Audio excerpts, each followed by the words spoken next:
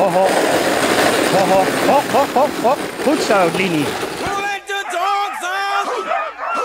Je zou het bijna niet geloven. Dit is niet in Noorwegen, maar gewoon in Numansdorp. Hier trainen Roderick en Anita met hun Siberische huskies voor de eerste keer in de Nederlandse sneeuw.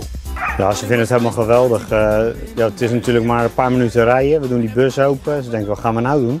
En dan wordt de sleet eruit gehaald en dan mogen ze rennen. Dus ik vond het helemaal geweldig. We hebben er nu 14 bij ons, maar in totaal hebben we 18 honden.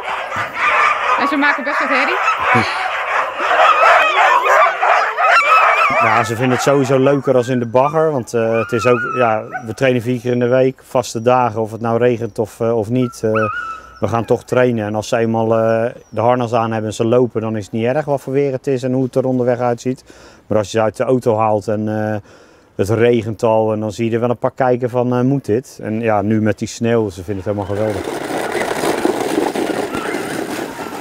Dat trainen doen ze voor kampioenschappen. We hebben hier namelijk te maken met heuse wereldkampioenen.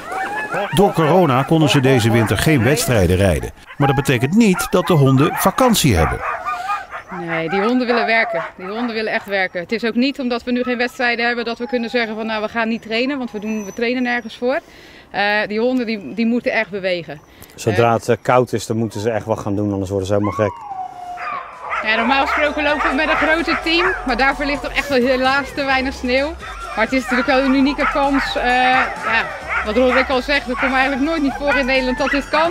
Dus ja, dan moet je die kans eigenlijk ook wel grijpen om met een klein team eventjes hier ook op de slee te gaan staan.